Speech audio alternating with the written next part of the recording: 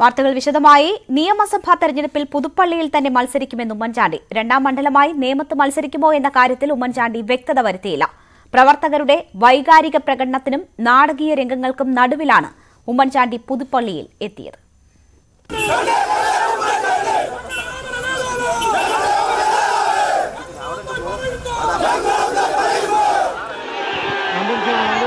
ആദ്യന്തം നാടകീയ രംഗങ്ങൾ പ്രവർത്തകന്റെ ആത്മഹത്യാ ഭീഷണി ഡൽഹിയിൽ നിന്ന് പുതുപ്പള്ളിയിലെ കരോട്ട് വള്ളക്കാലിൽ വീട്ടിലേക്കെത്തിയ ഉമ്മൻചാണ്ടിയെ കാത്തിരുന്നത് പുതുപ്പള്ളിക്കാരുടെ വികാരപ്രകടനം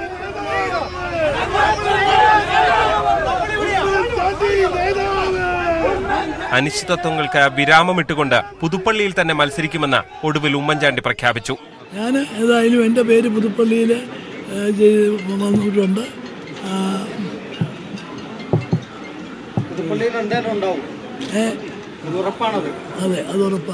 അതേസമയം നിയമത്തെക്കുറിച്ചുള്ള സസ്പെൻസ് നിലനിർത്തി രണ്ടാം മണ്ഡലമായി നിയമത്ത് മത്സരിക്കുമോ എന്ന കാര്യത്തിൽ വ്യക്തത വരുത്താൻ ഉമ്മൻചാണ്ടി തയ്യാറായില്ല പുതുപ്പള്ളിയെ വിട്ടു പോകുന്ന പ്രശ്നമേ ഇല്ല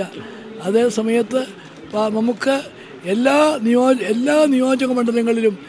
ഏറ്റവും ശക്തരായ ഏറ്റവും പറ്റിയ സ്ഥാനാർത്ഥികൾ ഉണ്ടാകണമെന്ന് നമ്മൾ എല്ലാവരും ആഗ്രഹിക്കുന്നു അതനുസരിച്ചുള്ള ആഗ്രഹം മാത്രമാണ് ഇന്ന് ഈ കുറിച്ചുള്ള വാർത്തകളിൽ നിറഞ്ഞു നിൽക്കുന്നത് എന്ന് പറയാൻ ആഗ്രഹിക്കുന്നു ചൊവ്വാഴ്ച പുതുപ്പള്ളിയിൽ നാമനിർദ്ദേശ പത്രിക സമർപ്പിക്കാനാണ് ഉമ്മൻചാണ്ടി ആലോചിക്കുന്നത് ബുധനാഴ്ച തെരഞ്ഞെടുപ്പ് കൺവെൻഷൻ നടത്തും കോൺഗ്രസ് സ്ഥാനാർത്ഥി പ്രഖ്യാപനം വരുമ്പോൾ പുതിയ നാടകീയ സംഭവങ്ങൾ ഉണ്ടാകുമോ എന്ന കാത്തിരിപ്പിലാണ് പുതുപ്പള്ളി ന്യൂസ് എയ്റ്റീൻ കോട്ടയം പ്രതിപക്ഷ നേതാവ് രമേശ് ചെന്നിത്തല ഹരിപ്പാട് തന്നെ മത്സരിക്കും ഹരിപ്പാട് വിട്ട് മറ്റെവിടെയും പോകില്ലെന്നും ഹരിപ്പാട് അമ്മയെ പോലെയെന്നും ഡൽഹിയിൽ നിന്ന് തിരിച്ചെത്തിയ ചെന്നിത്തല പറഞ്ഞു നിയമത്ത് മത്സരിക്കുന്നതിനെക്കുറിച്ച് ചോദിച്ചപ്പോൾ അത് ഊഹാപോഹം മാത്രമെന്നായിരുന്നു പ്രതികരണം ഹരിപ്പാടെന്ന് പറഞ്ഞാൽ എനിക്ക് അമ്മയെ പോലെയാണ് ജനങ്ങൾ അത്രമാത്രം എന്നെ സ്നേഹിക്കുന്നുണ്ട് അതുകൊണ്ട് ഹരിപ്പാട് വിട്ടുപോകാൻ എനിക്ക് കഴിയുന്നില്ല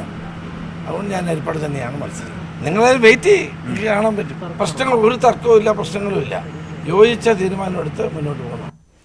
നിയമത്തെ ചൊല്ലിയുള്ള ആശയക്കുഴപ്പങ്ങൾ മുന്നണിയുടെ പൊതുസാധ്യതയെ ബാധിക്കുമോ എന്നതിൽ കോൺഗ്രസിനകത്ത് ആശങ്ക എതിരാളികൾ പ്രചാരണ രംഗത്ത് കളം നിറയുമ്പോൾ കാഴ്ചക്കാരാവേണ്ടി വരുന്നത് നിയമത്തെ ചൊല്ലിയുള്ള തർക്കങ്ങൾ മൂലമാണ് എന്നാണ് വിമർശനം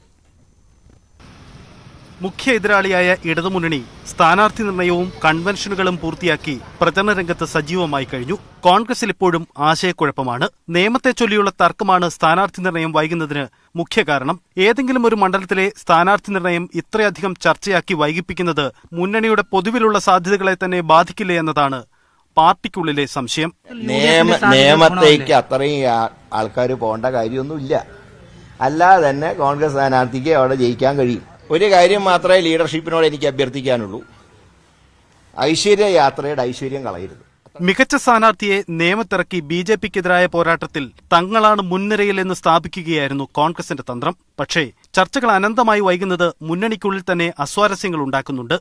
സീറ്റ് കിട്ടുമെന്ന് ഉറപ്പുള്ള സ്ഥാനാർത്ഥികൾക്ക് പോലും ഔദ്യോഗിക പ്രഖ്യാപനമാവാത്തതോടെ പ്രചരണത്തിനിറങ്ങാൻ കഴിയാത്ത സ്ഥിതിയാണ് ബി ജെ പിക്കെതിരെ കോൺഗ്രസിലെ കരുത്തൻ എന്ന രാഷ്ട്രീയതന്ത്രം പാളിപ്പോയിട്ടില്ലെന്ന് തെളിയിക്കാൻ പാർട്ടിക്ക് മുന്നിൽ ഏറെ വെല്ലുവിളികളുണ്ട് ന്യൂസ് എയ്റ്റീൻ തിരുവനന്തപുരം അന്തിമ പട്ടികയിലേക്ക് എത്താൻ കഴിയാതെ കോൺഗ്രസ് ചർച്ചകൾ നീളുകയാണ് നിയമം കീറാമുട്ടിയായതോടെ പുതുപ്പള്ളിയിലും നേമത്തും ഉമ്മൻചാണ്ടിയെ മത്സരിപ്പിക്കുന്നതും പരിഗണനയിലാണ് നേമത്ത് അപ്രതീക്ഷിത സ്ഥാനാർത്ഥിയെ നിർത്താനും കോൺഗ്രസിന് നീക്കമുണ്ട് നേമം ഉൾപ്പെടെയുള്ള മണ്ഡലങ്ങളിൽ അന്തിമ തീരുമാനത്തിലേക്ക് എത്താൻ കഴിയാത്ത സാഹചര്യത്തിൽ തിരക്കിട്ട ചർച്ചകളാണ് ഡൽഹിയിൽ നടക്കുന്നത് നേമം സ്ഥാനാർത്ഥിയെ ഉറപ്പിക്കാനാകാത്തതിനാൽ ഒരാൾക്ക് രണ്ട് മണ്ഡലം വേണ്ടെന്ന ഹൈക്കമാൻഡ് തീരുമാനം മാറ്റി ഉമ്മൻചാണ്ടിക്ക് രണ്ട് മണ്ഡലം നൽകാനുള്ള സാധ്യതയും ആലോചിക്കുന്നുണ്ട് ചർച്ചകളിൽ ഇല്ലാത്ത അപ്രതീക്ഷിത സ്ഥാനാർത്ഥിയെ നിയമത്ത് പരീക്ഷിക്കാനും ശ്രമമുണ്ട് നേമത്തിലെ തീരുമാനത്തിന് അനുസരിച്ചാകും കഴക്കൂട്ടം വട്ടിയൂർക്കാവ് മണ്ഡലങ്ങളിലെ സ്ഥാനാർത്ഥികളെ തീരുമാനിക്കുക തൃപ്പൂണിത്തറയിൽ കെ ബാബുവിനെ മത്സരിപ്പിക്കണമെന്ന് ഉമ്മൻചാണ്ടി ആവശ്യപ്പെട്ടിട്ടുണ്ട് ബാബുവിനെ വെട്ടിയാൽ സൗമിനി ജെയിനാണ് സാധ്യത കൊല്ലത്തിനായി പി സി വിഷ്ണുനാഥ് പിടിമുറുക്കുന്നതാണ് കുണ്ടറ ആറന്മുള മണ്ഡലങ്ങളിലെ തർക്കത്തിന് കാരണം ആറന്മുളയാണ് വിഷ്ണുനാഥിനായി നിർദ്ദേശിച്ചത് കുണ്ടറ വേണ്ടെന്നും കൊല്ലമാണെങ്കിൽ മത്സരിക്കാമെന്നുമാണ് ബിന്ദു കൃഷ്ണയുടെ നിലപാട് ടി സിദ്ദിഖിന്റെ പേര് ഉയർന്നു കേൾക്കുന്ന നിലമ്പൂരിൽ അനിശ്ചിതത്വം തുടരുകയാണ് പേരുകൾ പലതുണ്ടെങ്കിലും നേമത്താര് എന്നതാണ് കോൺഗ്രസ് സ്ഥാനാർത്ഥി പട്ടികയുടെ സസ്പെൻസ് നേമത്തിൽ തന്നെ തട്ടിയാണ് പട്ടിക നീളുന്നതും ക്യാമറമാൻ നാഗേന്ദ്രനൊപ്പം K P Abhilash news eighteen Delhi Kollam മണ്ഡലത്തിൽ ഡി സി സി അധ്യക്ഷ ബിന്ദുകൃഷ്ണയെ സ്ഥാനാർത്ഥിയാക്കണമെന്നാവശ്യപ്പെട്ട് പരസ്യ പ്രതിഷേധം ബിന്ദുകൃഷ്ണയ്ക്ക് സീറ്റ് നൽകണമെന്നാവശ്യപ്പെട്ട് മത്സ്യത്തൊഴിലാളി സ്ത്രീകളടക്കം രംഗത്തെത്തി പ്രവർത്തകർക്ക് മുൻപിൽ ബിന്ദുകൃഷ്ണ വിതുമ്പിക്കരഞ്ഞു പി സി വിഷ്ണുനാഥിനെ മത്സരിപ്പിക്കാനുള്ള തീരുമാനത്തിനെതിരെ കൊല്ലത്ത് കോൺഗ്രസിൽ കൂട്ടരാജി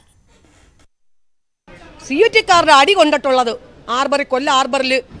ബിന്ദുകൃഷ്ണേ ഉള്ളൂ അന്നേരം അവർ ജയിക്കും അവർ ഞങ്ങളുടെ കൂടെ കാണണമെന്ന് മാത്രമേ ഉള്ളൂ അവർക്ക് സീറ്റ് കൊടുക്കണം അല്ലെങ്കിൽ ആരെ നിർത്തിയാലും ഞങ്ങൾ പ്രവർത്തിക്കാൻ ഇറങ്ങത്തില്ല വോട്ടിനും ഒന്നിനും ഇറങ്ങത്തില്ല ബിന്ദു കൃഷ്ണയ്ക്ക് സീറ്റ് നിഷേധിക്കുന്നു എന്നറിഞ്ഞാണ് സ്ത്രീകൾ ഉൾപ്പെടെയുള്ള മത്സ്യത്തൊഴിലാളികൾ കൊല്ലം ഡി സി സി ഓഫീസിലെത്തിയത് വൈകാരിക രംഗങ്ങൾക്കാണ് ഓഫീസ് പരിസരം വേദിയായത് പ്രവർത്തകർക്ക് മുൻപിൽ ബിന്ദു കൃഷ്ണ വിതുമ്പിക്കരഞ്ഞു ഞങ്ങളുടെ സഹോദരിയായി തന്നില്ലെങ്കിൽ ഞങ്ങളുടെ മോളായി തന്നില്ലെങ്കിൽ ഞങ്ങൾ ഇതിനൊന്നും പിന്നോട്ടല്ല ഞങ്ങളെല്ലാം മുമ്പോട്ടാണ് ഞങ്ങളുടെ ഈ മകളെ ഞങ്ങൾക്ക് കിട്ടിയേ പറ്റൂ ബിന്ദു കൃഷ്ണയ്ക്ക് പിന്തുണ അറിയിച്ച് കൊല്ലം മണ്ഡലത്തിലെ രണ്ട് ബ്ലോക്ക് പ്രസിഡന്റുമാരും മുഴുവൻ മണ്ഡലം പ്രസിഡന്റുമാരും രാജിവെച്ചു ഇതിനെ നമുക്ക് തന്നേ പറ്റൂ ഇല്ലെങ്കിൽ ഞങ്ങൾ ആരും വോട്ട് ചെയ്യത്തില്ല വോട്ട് ചെയ്യത്തില്ലെന്നല്ല ഞങ്ങളെല്ലാം രാജിവെക്കും പാർട്ടി തന്നോട് കുണ്ടറയിൽ മത്സരിക്കാൻ ആവശ്യപ്പെട്ടെന്നും എന്നാൽ ആവശ്യം നിരസിച്ചെന്നും ബിന്ദു കൃഷ്ണ പറഞ്ഞു കൊല്ലം ലഭിച്ചില്ലെങ്കിൽ മത്സരരംഗത്തേക്കില്ല മുമ്പൊക്കെ കൊല്ലത്ത് മത്സരിക്കണമെന്നുള്ളതായിരുന്നു നിർദ്ദേശം വന്നിട്ടുള്ളത് പിന്നീട് ഇന്നലെ എന്നോട് നേതൃത്വം കുണ്ടറയിൽ മത്സരിക്കാൻ താല്പര്യമുണ്ടോ മത്സരിക്കുമോ എന്നൊക്കെ ചോദിച്ചു ഞാൻ പറഞ്ഞ് എവിടെയായാലും ധർമ്മടത്തായാലും മത്സരിക്കുന്നതിനൊന്നും ബുദ്ധിമുട്ടുള്ള ആളല്ല പക്ഷേ പാർട്ടി പ്രവർത്തക കൊല്ലത്തെ പാർട്ടി പ്രവർത്തകരുമായിട്ട് കഴിഞ്ഞ നാലര വർഷക്കാലമായി ആത്മബന്ധവും കാര്യങ്ങളൊക്കെ ഉണ്ടായിരുന്നതുകൊണ്ട് അതേസമയം ഒരു വിഭാഗം പാർട്ടി പ്രവർത്തകർ ബിന്ദു കൃഷ്ണയ്ക്കായി ചുവരെഴുത്തുകൾ ആരംഭിച്ചു കൊല്ലത്ത് ബിന്ദു കൃഷ്ണയോ പി സി വിഷ്ണുനാഥോ എന്ന സസ്പെൻസ് അവസാനിക്കണമെങ്കിൽ കോൺഗ്രസ് സ്ഥാനാർത്ഥി പട്ടിക പുറത്തുവരണം ന്യൂസ് എയ്റ്റീൻ കൊല്ലം മലമ്പുഴയെ നിയമമാക്കാൻ അനുവദിക്കില്ലെന്ന കോൺഗ്രസ് പ്രവർത്തകരുടെ പ്രതിഷേധം ഫലം കണ്ടു മലമ്പുഴയിൽ മത്സരിക്കാനില്ലെന്ന് ഭാരതീയ നാഷണൽ ജനതാദൾ വ്യക്തമാക്കി ഇതോടെ പ്രതിഷേധം കെട്ടടങ്ങി ഞങ്ങൾ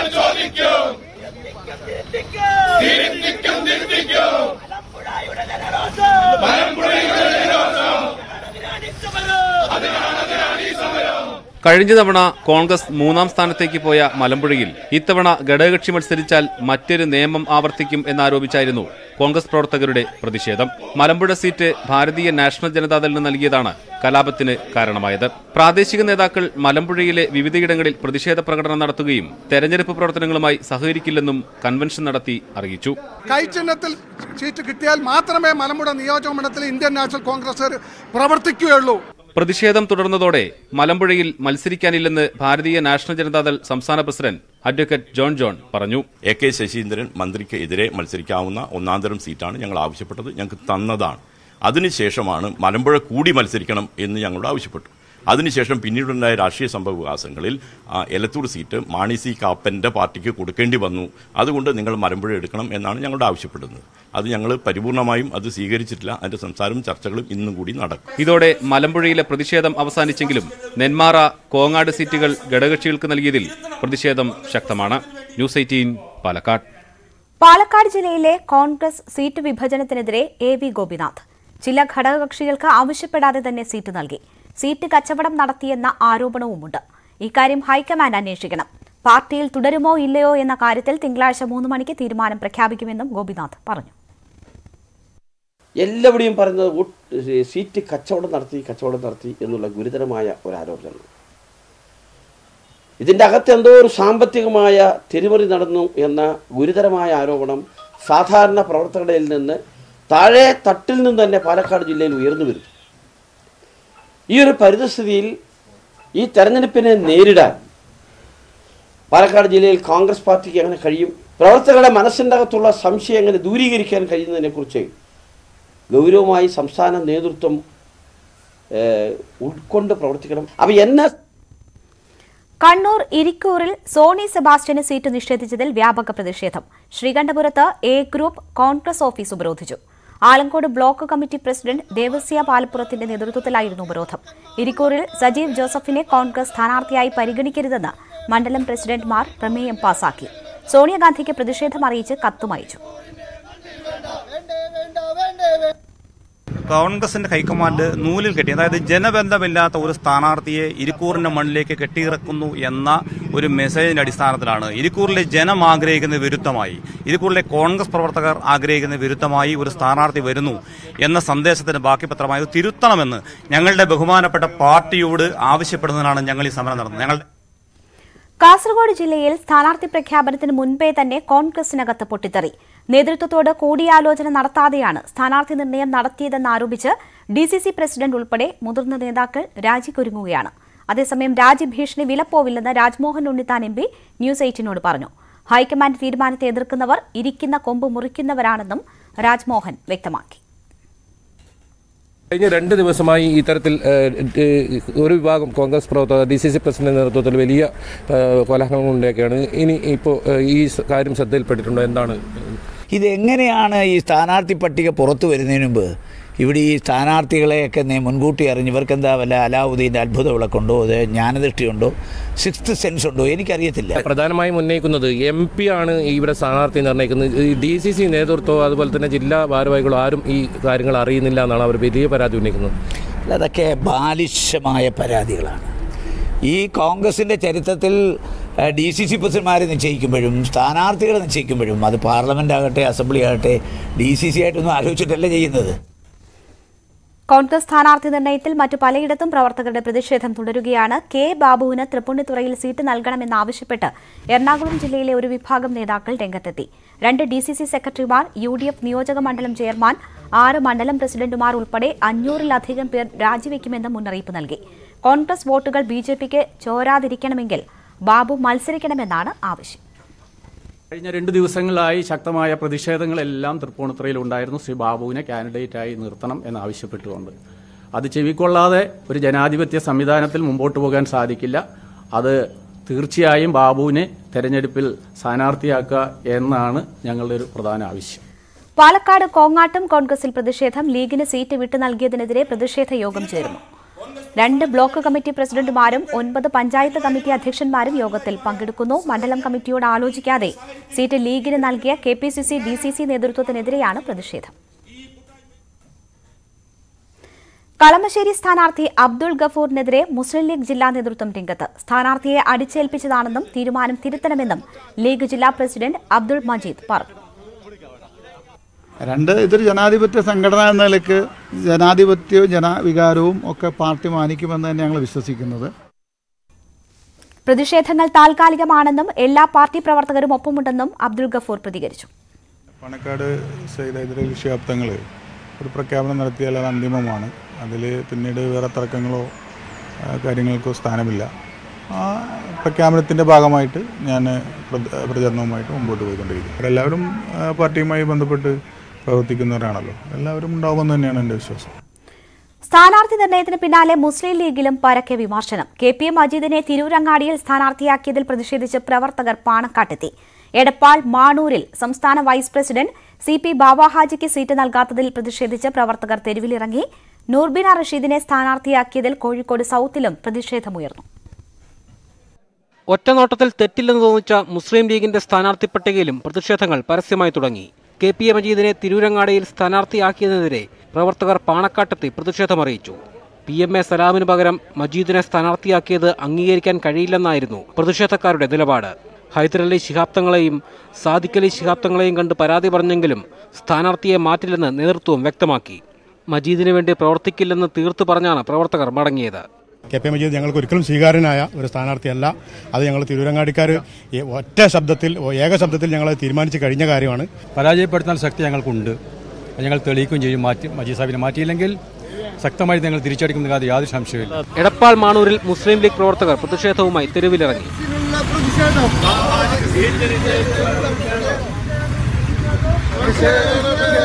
സംസ്ഥാന വൈസ് പ്രസിഡന്റ് സി പി ബാവാഹാജിക്ക് സീറ്റ് നൽകാത്തതിലാണ് പ്രതിഷേധം ബാവാഹാജിക്ക് പിന്തുണ പ്രഖ്യാപിച്ച് വട്ടക്കുളം പഞ്ചായത്തിലെ രണ്ടംഗങ്ങൾ രാജി പ്രഖ്യാപിച്ചു ഇതോടെ പഞ്ചായത്ത് യു ഡി എഫിന് നഷ്ടമാകും സ്ഥാനാർത്ഥി പട്ടികയിൽ മുസ്ലിം ലീഗ് കോഴിക്കോട് ജില്ലാ കമ്മിറ്റിയിലും എതിർപ്പുണ്ട് കൊടുവള്ളിയിൽ എം കെ മുനീറിനെതിരെ V M Ummer M A Razak ഗ്രൂപ്പുകൾ ഒന്നിച്ചു നൂർബിന റഷീദിനെ പേരാമ്പ്രയിലേക്ക് മാറ്റണമെന്ന ആവശ്യവും ഉയരുന്നുണ്ട് കോഴിക്കോട് സൗത്തിൽ എം എ റസാഖിനെ സ്ഥാനാർത്ഥിയാക്കണമെന്നും ഇവർ ആവശ്യപ്പെടുന്നു എന്നാൽ അഭിപ്രായ പ്രകടനം സ്വാഭാവികമെന്നായിരുന്നു പി കെ കുഞ്ഞാലിക്കുട്ടിയുടെ പ്രതികരണം തങ്ങളുടെ ഒരു തീരുമാനം വന്നു കഴിഞ്ഞാൽ ആ തീരുമാനം പാർട്ടിയുടെ തീരുമാനമാണ് അങ്ങനെ പ്രൊട്ടസ്റ്റ് കാര്യങ്ങളൊന്നും പതിവില്ല ചുരുക്കത്തിൽ വലിയ പരസ്യമായിട്ടുള്ള അഭിപ്രായ വ്യത്യാസങ്ങൾ ഇന്നലെ എവിടെ നിന്നും വന്നിട്ടില്ല പ്ലാൻ ചെയ്ത് പിന്നെ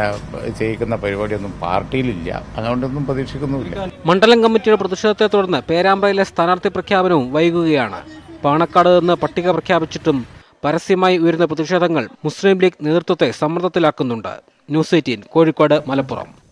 ഇടവേളയാണ് കൂടുതൽ വാർത്തകൾക്കും വിശദാംശങ്ങൾക്കും Malayalam dot news eighteen dot com സന്ദർശിക്കുക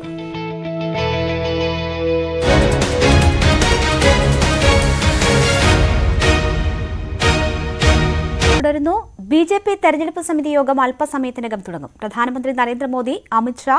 ജെ പി നദ്ദ ഉൾപ്പെടെയുള്ളവർ പങ്കെടുക്കും കെ സുരേന്ദ്രൻ മഞ്ചേശ്വരത്തും സുരേഷ് ഗോപി തൃശൂരും സ്ഥാനാർത്ഥികളായേക്കും കെ പി അഭിലാഷ് വിവരങ്ങളുമായി ചേരുകയാണ് അഭിലാഷ് യോഗം തുടങ്ങാറായോ ഇന്നത്തെ യോഗത്തിൽ ഒരു തീരുമാനം പ്രതീക്ഷിക്കുന്നുണ്ടോ പ്രഖ്യാപനം ഇന്നുണ്ടാകുമോ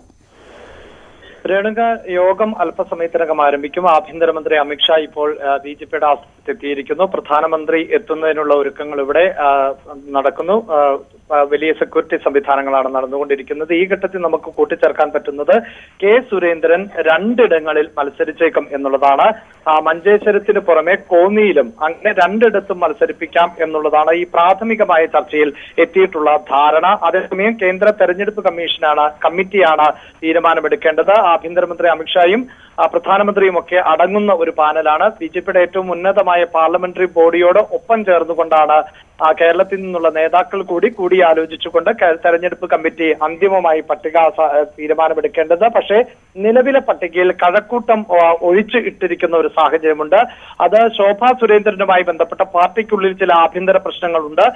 ഒരു പക്ഷേ ആ ആഭ്യന്തര പ്രശ്നങ്ങളുമായി ബന്ധപ്പെട്ട് കമ്മീഷൻ കമ്മിറ്റി എന്താണോ തീരുമാനിക്കുന്നത് ബി ജെ പിയുടെ ഉന്നതാധികാര സമിതി എന്താണോ തീരുമാനിക്കുന്നത് എന്നതിന്റെ അടിസ്ഥാനത്തിലായിരിക്കണം കഴക്കൂട്ടം ഒഴികെയുള്ള മറ്റെല്ലാ സീറ്റുകളിലേക്കും തന്നെ പേരുകൾ നിർദ്ദേശിക്കുന്നു അങ്ങനെ നിർദ്ദേശിച്ചെടുത്താണ് കോന്നിയിലും മഞ്ചേശ്വരത്തും കെ സുരേന്ദ്രൻ തന്നെ മത്സരിക്കട്ടെ എന്ന ഒരു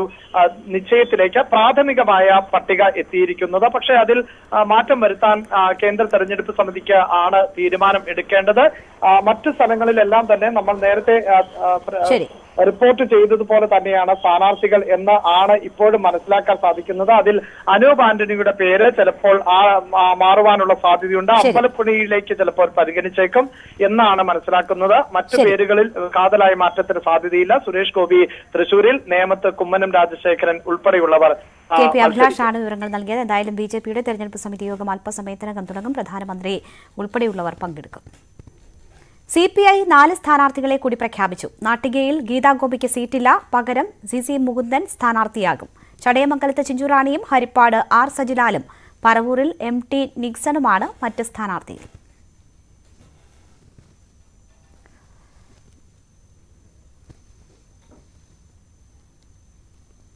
കേരള കോൺഗ്രസ് ജോസഫ് വിഭാഗം സ്ഥാനാർത്ഥികളെ പ്രഖ്യാപിച്ചു പി ജെ ജോസഫ് തൊടുപുഴയിൽ മത്സരിക്കും കെ എം മാണിയുടെ മരുമകൻ എം പി ജോസഫാണ് തൃക്കരിപ്പൂരിൽ സ്ഥാനാർത്ഥി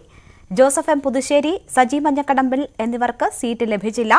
സീറ്റ് നിഷേധത്തിനെതിരെ പത്തനംതിട്ട ജില്ലാ പ്രസിഡന്റ് വിക്ടർ ടി തോമസ് രംഗത്തുവന്നു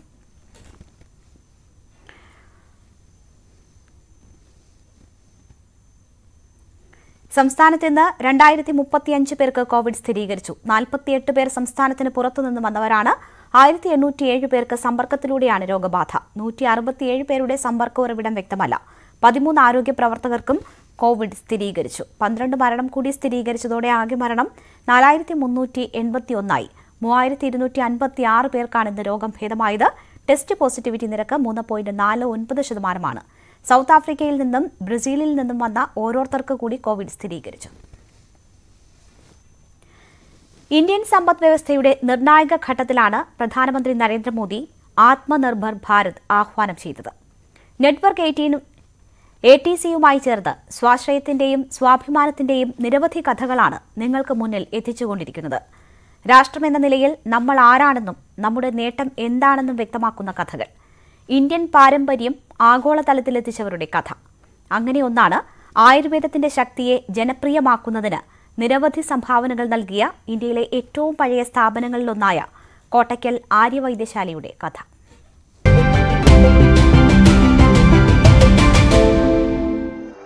one of India's oldest institutions that has not just preserved the ancient science but has made an immense contribution in popularizing the healing powers of Ayurveda is the Arya Vaidya Sala. It has been offering the Ayurveda panacea to patients from India and across the world for more than a century. Ayurveda is very close to nature and there is no artificial uh, or chemical ingredients in the formulations at the other end of the spectrum of institutions taking Indian well being practices to the world is Ananda in the Himalayas, an award winning luxury spa that creates deeply researched wellness programs for its guests that are rooted in classical yoga and Ayurveda. Ayurveda's increasing popularity has found favor with personal care brands like ITC's neem based range of products Nimwash and Nimile, which have exceeded expectations in terms of attracting consumers. In ITC, we have invested ahead of time in building our capabilities on NEEM. We have some experts who have spent their lives studying the NEEM plant. Ayurveda is one of India's greatest gifts to the world and is a symbol of a Swabhiman Bharat.